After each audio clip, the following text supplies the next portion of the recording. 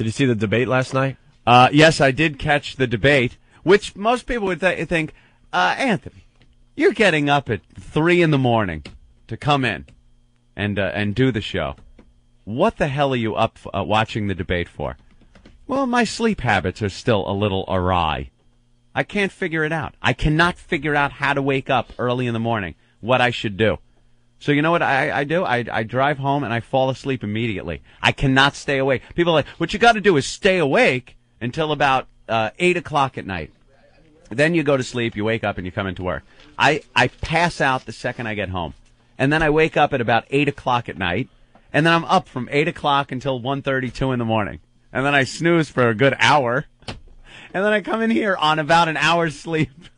Yeah, we really got to figure this out. I can't figure it out. You know, yesterday when we were doing the show, mm. Anthony and I have been doing afternoon radio for about 10 years, so this yeah. is really brand new for us. Want to mm-hmm. say hi to all the people that got their XM radios tuned in. Uh, oh, new batch uh, today. New batch every day. The audience yes. slowly but surely growing as we spread the ONA virus across America. Uh, yesterday, though, at the end of the show, mm-hmm. I started getting uh, delirious. Oh, because oh, yeah. I, I look up at the TV and I'm like, why is the Today Show on in the afternoon?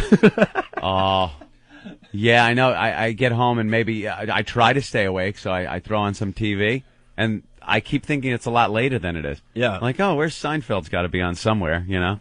No, it's the horrible afternoon uh, television is on. So who won the debate? I didn't really get to see it. I, I saw some highlights, and it, it, just looked like I, I, don't know. John Edwards was talking to the principal of a high school or something. That's pretty much what it looked like. I, I, I thought it was more like John Edwards looked like uh, like Cheney's son, and he was ready to ask him for his uh, for the car keys or something.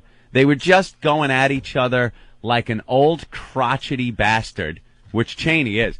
Ch- Cheney and Bush both at these debates look like they just could not be bothered, don't want to be there, feel that it's uh, their right for uh, to to be elected for another four years, and they shouldn't have to go through all this silly stuff like debates and an election process and all that crap. You know, they should just be given the four years because, damn it, they've earned it with the past four years. And uh, Cheney came off that way, like he just couldn't be bothered. He didn't even, you know, on the debates, how everybody has a set amount of time, and then the, the moderator, who by the way last night was horrible, I'll get into that too. The the moderator says, "Okay, um, Vice Pre- Mr. Vice President, you have 30 seconds." He goes, "Nah, nah." He just would like grunt and go, "Nah, I've got no," and wouldn't even utilize the 30 seconds of, of debate time to debate the guy w- was just a crotchety old bastard who didn't want to be there. He also, um, I think Edwards did a good job uh, uh, pointing out the the the bullshit from the uh, the administration and and how they twist things around. And um, I, and Cheney, I don't know. I, I like to give the American people a little more credit than than to believe a lot of the stuff that that uh, Cheney was putting out there. A lot of the criticism of of Kerry. I'm not a Kerry fan. Don't get me wrong. Don't get me wrong. I know I sound like I'm I'm a Democrat and a Kerry fan. I'm not. Well, yesterday you sounded like a Republican. Today you're mm sounding like a Democrat. I know. This is how it is. This is how it is with these know two why, candidates. Because they both stink. they both suck. We were on uh, Sean Hannity's show. He, he was asking us uh, who we we would, would uh, vote for, and I said, uh, mm-hmm. you know, I'm not voting because I don't like the choices. Yeah. And then people, you know, are sending me email. You're not a, an American because you're not voting. Yeah. If you don't like the choices, you make a statement by not voting. Right. I'm not voting. I don't like either voting. guy. John Kerry seems sincere, though. he seems like a genuine, down to earth guy. I'll tell you something. He came off as a very prepared guy. He was prepared. He had a lot of facts. And um, Cheney, again, just following this line of let's discredit, let's discredit Kerry. Oh, did, did Norton blast a fart now? And, and, and now I'm going to puke in the studio. We're having a serious political discussion. Okay. You couldn't wait. You couldn't wait for the TNA break to do the, the fart thing? Of course he could. I'm scared. I won't be farting today, though. oh. I'm nice and clean today. So what what what Cheney's doing, and what Bush does, and the the, the, the their whole thing that they're doing, uh, is discrediting uh, Kerry. And the way they do it is twist around what he said and what he's done. And the biggest thing that they've been hitting on is the fact that um, Kerry has been saying the wrong war, wrong place, wrong time, and how Kerry voted uh, for the war and then comes out against the war. Well, the truth of the matter is, and I don't know why Kerry doesn't spell this out in black and white for the people. What he did was vote for the use of force against Saddam Hussein, which is fine. You want to vote for that.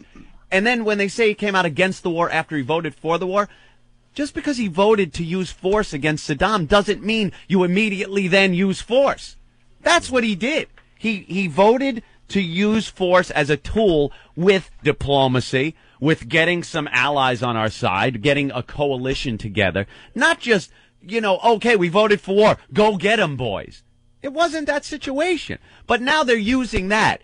And Cheney was pounding that last night. Oh, he voted for the war, but then he comes out against it.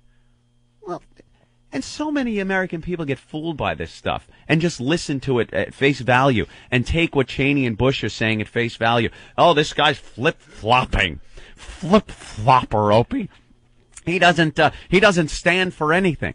Well, open your mind up. Listen to what both sides are saying. Separate the crap from the fact. Do some research on your own. Don't use Fox News as your only source for uh, news. I, I mean, you, you really have to educate yourself to uh, what We report, both you decide. report. Oh, uh, the no spin zone. Holy tornado! They're spinning like crazy over there.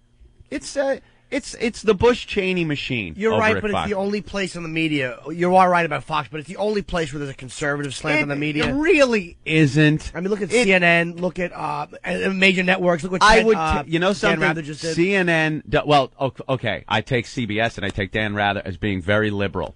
Uh, CNN, I'd look at CNN more, uh, more as as they they kind of put the facts out there. I think you could make a better decision based on what CNN's broadcasting than what Fox News is broadcasting. I have more faith in Al Jazeera than I do in CNN.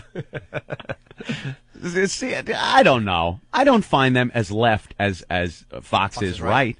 Yeah. Hey, um, Anthony, I want to go to line seven because Pete has a comment about the debate. But uh, All right. my phone system is just showing a log on to Windows screen. Oh, that's great.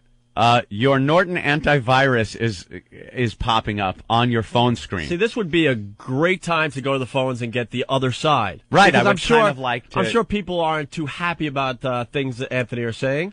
Maybe they are. Maybe some are agreeing. Um, but I'm sure other people have another spin on this.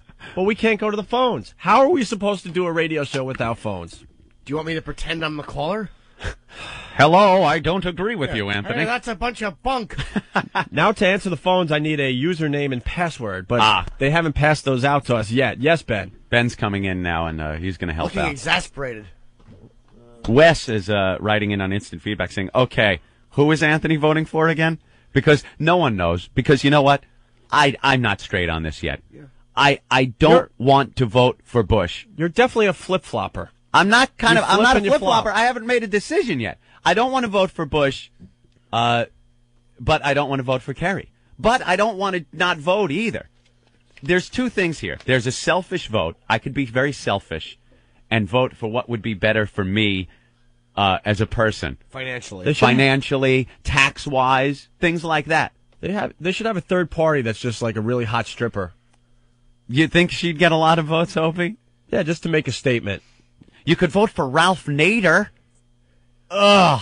Who's pretty much working for the Republican Party? Yeah, Who- that's- that's the who's he Republican kidding? vote. If- Who the f is he kidding? If you're voting for Nader, you're pretty much just uh, giving the vote to uh, the Bush Cheney camp. Well, I uh, the meltdown will happen tomorrow. By the Oh, way. I see. I see it heating up already. I in will- I will head. give them today, but the meltdown will happen tomorrow. Ben, ha- what are you doing, Ben? Why don't we go to the? Uh, uh, well, we can't go. Why don't we take another break? Oh boy. Uh oh. This is morning radio at its best, and we'll try to get the phone system working. Okay. well, you're supposed to have a username and password whenever you answer a phone for a radio show, aren't you? Isn't that normal? Hello, Joshua. Tick tack toe. The only way to win is not to play. Ah, faggot social message computer. The end of that war games. Ugh, Matthew Broderick should have raped that chick while the whole world exploded.